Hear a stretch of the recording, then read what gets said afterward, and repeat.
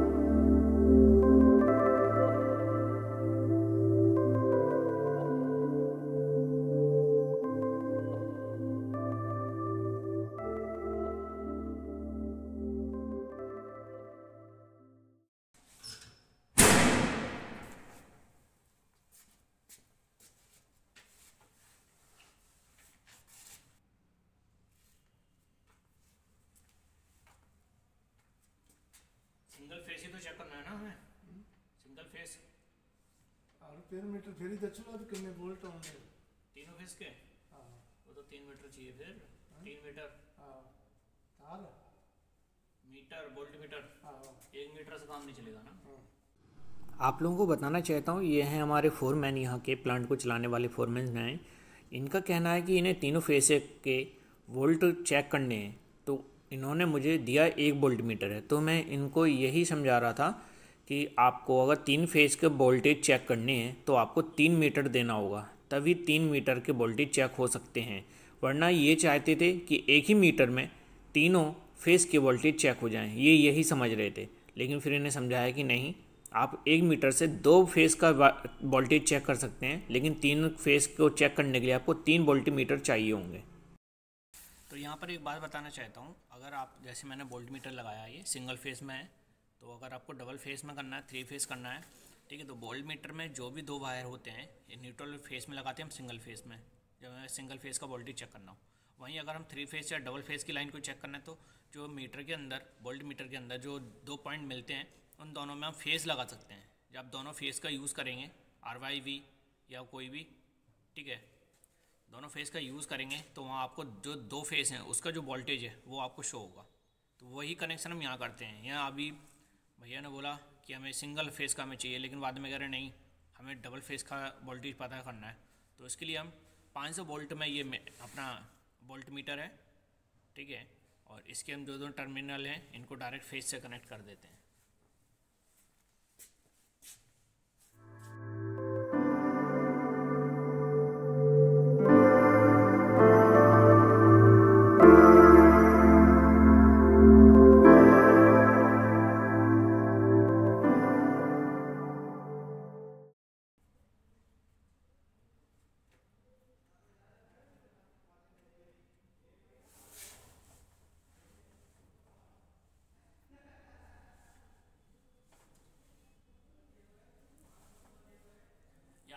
Voltage जो check कर रहे हैं, वो वोल्टेज हमारे वी हाँ वी वाई का है वोल्टेज ठीक है?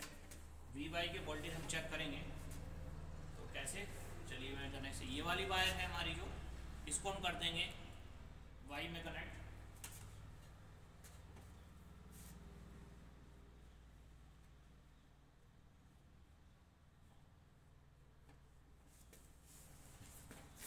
ये वाली जो वायर है इसको हम कर देंगे आर में कनेक्ट कनेक्शन चेंज कर देना हम थोड़ा सा, क्योंकि खोलने में बांधने में प्रॉब्लम है। चलिए मैं पास आके दिखा देता हूँ आपको कनेक्शन देख सकते हैं, ये अभी हमने कनेक्शन किए हैं, ठीक है? इनको दोबारा खोल के ज्वाइंट करने में बहुत प्रॉब्लम आएगी, इसलिए हम सीधा वाई आर में कनेक्शन करेंगे इसके वाई आर में कनेक्शन दे के दोनों को चेक करते हैं।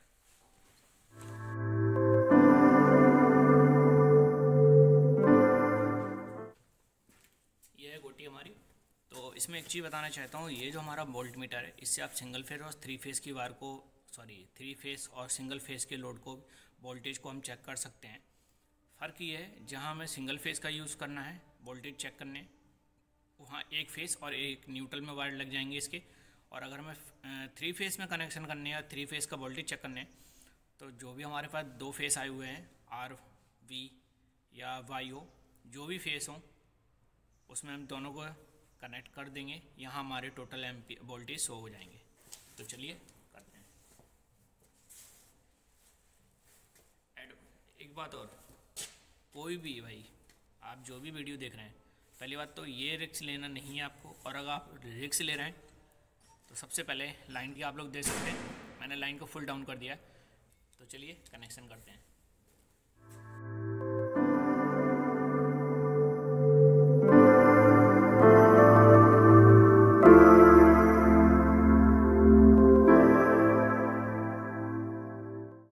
जैसी ही लाइट आएगी। ये वाला बल्ब ग्लो करेगा। इससे हमें पता चल जाएगी लाइट है या नहीं। तो हमारी वायरिंग कंप्लीट हो गई है, जैसे कि आप लोग देख सकते हैं। एक वायर रेड पर और एक वायर हमारी येलो पर लगी हुई है। ये देख सकते हैं आप। ठीक है दोस्तों तो चलिए अब मैं आपको इसके बाद दिखाता हूँ मीटर ये देख सकते हैं आप वोल्ट मीटर भी यहाँ वोल्टेज शो कर रहा है। दोस्तों, बताना चाहता हूँ, यहाँ वीडियो नहीं बना पाया था, क्योंकि मेरा फ़ोन ऑफ़ हो गया था बैटरी लो होने की वजह से। और मेरे पास वहाँ पर कोई चार्जर नहीं था, जिसकी वजह से मैं चार्ज भी नहीं कर पाया। इसलिए मैंने फ़ोटो ले ली थी यहाँ, क्योंकि तीन परसेंट पर सेविंग मोड लग गया था। लेकिन तीन परसेंट होने के बावजूद भी फ़ोटो क्लिक हो गई थी। ओके दोस्तों, अगर वीडियो अच्छी लगी हो तो चैनल को सब्सक्राइब कीजिए। अगर वीडियो अच्छी लगी है और कोई जानकारी आई है आपको समझ में तो ही लाइक कीजिए। वरना आपका बहुत बहुत शुक्रिया।